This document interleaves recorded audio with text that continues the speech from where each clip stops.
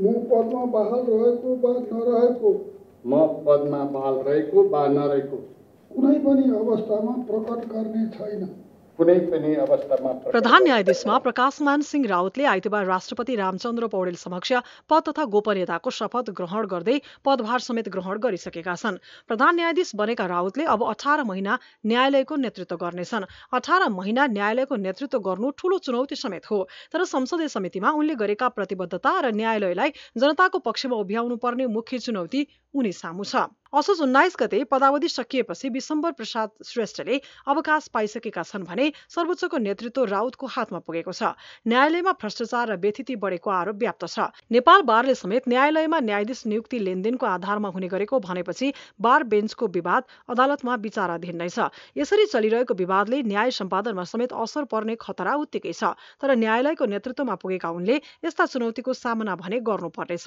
पदभार ग्रहण लगतै प्रधान न्यायाधीश राउतले न्यायालयसँग सम्बन्धित सबै समस्या समाधान गर्न आफू प्रतिबद्ध रहेको बताएका छन्।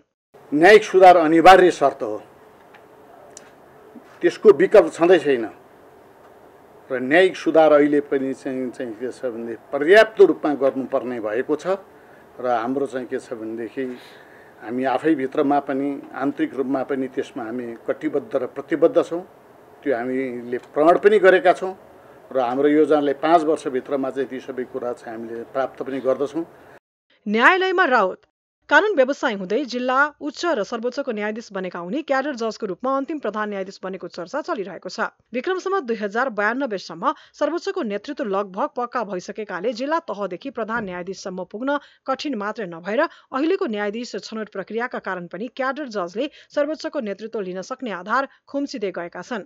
राउतले कुनै बेला न्यायालयभित्र विकृति छ भन्दै सर्वोच्च बारको अध्यक्ष भएका बेला अध्ययन समिति नै बनाएपछि यो विषयले न्याय प्रशासनमा तरङ्ग नै ल्याएको थियो। अब उनले नेतृत्व गरिरहेको न्यायालयले हरिकृष्ण कार्की नेतृत्व र आफ्नै अध्ययन समितिले दिएको प्रतिवेदनको कार्यान्वयन प्रमुख चुनौती समेत हो भने अवसर समेत हो। तर के उनले यो गर्न सक्लान्? अहिले प्रश्न र चासो व्याप्त छ। प्रधान न्यायाधीशका चुनौती। एक बार बेन्च विवाद कम गर्ने। नेपाल बारले न्यायालयको नेतृत्वमाथि लगाएको गम्भीर आरोप सर्वोच्चमा विचाराधीन अवस्थामा छ। न्यायाधीश नियुक्तिमा बारले उठाएको प्रश्न र त्यसपछि सर्वोच्चको फुलकोटको निर्णयपछि बार विरुद्ध चलेको मुद्दाको किनारा र यसको बुद्धिमत्तापूर्वक समाधान खोज्ने जिम्मा राउत सामु आइलागेको छ। बार बेन्च विवाद चलेमा न्याय क्षेत्र नै समस्यामा पर्ने र उनको नेतृत्वमै प्रश्न उठ्ने हुन सक्छ यसतर्फ उनले कसरी कदम चाल्छन् भन्ने विषय पनि चासोमा छ। दुई न्यायाधीश नियुक्ति। न्यायाधीश नियुक्ति गर्नु उनको अबको कार्यकालको प्रमुख दायित्व हुनेछ। न्याय परिषदबाट न्यायाधीश नियुक्तिलाई विवाद रहित बनाउने र निष्पक्षता समेत कायम गर्नुपर्ने जिम्मा उनको हातमा पुगेको छ। न्यायाधीश नियुक्तिमा राजनीतिक हस्तक्षेप कम गर्ने र क्षमताको आधारमा न्यायालयमा प्रवेश दिनुपर्नेमा थोरै मात्रै पनि चुक्ने स्थिति बनेमा उनको नेतृत्व क्षमतामा प्रश्न पक्कै उठ्नेछ। तीन मुद्दाको चाप घटाउने दबाव। काठमाडौँ जिल्ला र उच्च तथा सर्वोच्चमा मुद्दाको चाप अत्याधिक छ। काठमाडौँ बाहेकका जिल्ला अदालतमा मुद्दाको चाप खास नरहेको जिकिर उनी आफैले गरेका छन्। यस्तोमा काठमाडौँ जिल्ला अदालतदेखि उच्च र सर्वोच्चमा देखिएको मुद्दाको चाप घटाउने र न्याय सुनिश्चित गर्ने जिम्मा उनको हातमा छ। यस्तोमा न्यायाधीश नियुक्ति न्याय प्रशासनमा चुस्त व्यवस्थापनदेखि धेरै कुरामा ध्यान दिनुपर्नेछ जुन विषय अत्यन्तै चुनौतीको विषय पनि हो। चार अदालतभित्रको विकृति रोक्ने। अदालतमा भ्रष्टाचार र विकृति बढेको गुनासो व्याप्त छ। मुद्दाको फैसलामा समेत आर्थिक चलखेल हुने र राजनीतिक प्रकृतिका मुद्दाको फैसला ढिला हुने हुँदै नहुने किसिमका चुनौती पनि जटिल प्रकृतिका छन्। कतिपय मुद्दाको फैसलाले न्याय प्रशासनमा समेत प्रश्न उठ्ने स्थिति छ जुन स्थितिलाई उच्च न्यायिक मनको प्रयोग गर्दै न्यायको सही पालना गराउनु उनको जिम्मेवारी हुनेछ। अदालतमा हुने सबै खाले विकृति भ्रष्टाचार र बिचौलिया नियन्त्रण समेत ठूलो चुनौती हो जुन विषय लामो समयदेखि चल्दै आए पनि समाधान हुन नसकेको गुनासो व्याप्त छ। पाँच अदालतलाई प्रविधि मैत्री बनाउने। अदालतलाई प्रविधिसँग जोड्नु अहिलेको मुख्य आवश्यकता हो।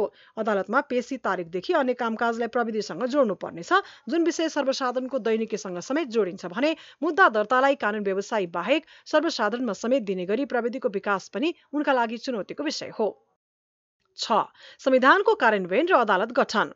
संविधान कार्यान्वयनमा सर्वोच्च नै अन्तिम व्याख्याता भएकाले सही र वस्तुपरक विश्लेषण अहिलेको आवश्यकता हो भने संविधानले गठन गर्नुपर्ने भनेका विभिन्न प्रकृतिका अदालतको गठनलाई समेत उनले आफ्नो कार्यकालमा गर्न सके त्यसको प्रभाव दीर्घकालीन हुनेछ।